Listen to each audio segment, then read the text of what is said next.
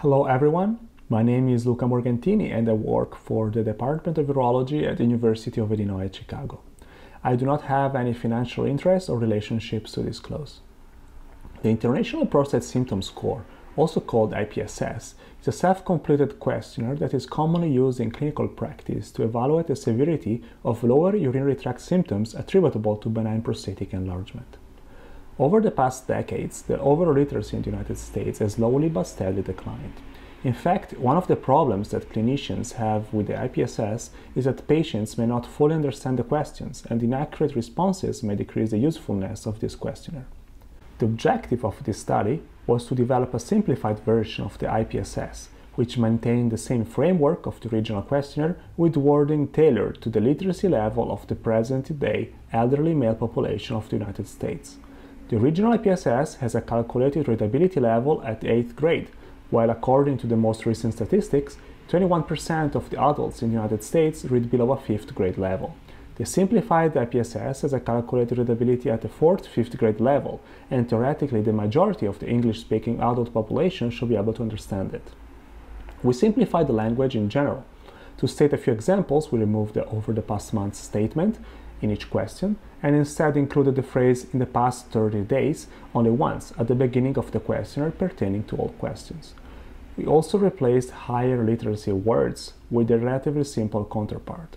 For instance, words like urination, postpone, or strain were substituted with pee, hold in, and push. The quality of life question was also simplified.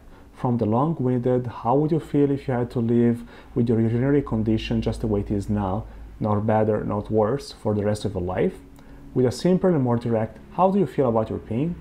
The answer options were also converted into more easily understandable statements. In particular, we adopted a six points Likert scale that went from not at all to almost always, exactly as the original IPSS, but with shorter and simpler wording. For example, almost never replaced less than one time in five. The same simplification process was also applied for the Spanish version of the IPSS, given the high prevalence of the Spanish-speaking population in the United States. We also tested our questionnaire. Male patients aged 65 or older were presented to our clinic due to lower urinary tract symptoms in October 2019. A total of 18 patients agreed to participate in the study and were randomly assigned to complete one questionnaire before the visit and one afterwards. 13 completed it in English and 5 in Spanish. An additional question was added at the end to ask about the difficulty they experienced in completing each questionnaire. On average, respondents found the simplified IPSS to be easier to understand than the original IPSS. These results were evident both for the English and the Spanish versions. Average scores addressing incomplete emptying in both questionnaires were similar. However, mean scores calculated for the other lower urinary tract symptoms were consistently higher in the simplified IPSS. Supportive of these findings, mean quality of life scores of the simplified IPSS was one and a half points worse than what recorded with the original IPSS. Additionally, three participants needed help to complete IPSS, while none required assistance for the simplified one.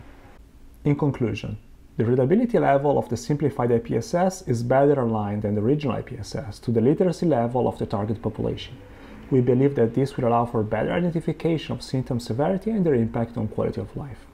These preliminary results require further testing in larger cohorts of patients in order to better understand the clinical utility and potential advantages of the simplified IPSS. For those of you who are interested in this project, please do not hesitate to contact me. You can also scan these two QR codes to download the English and the Spanish version of the simplified IPSS. Thank you for your attention and I'm happy to answer any of your questions.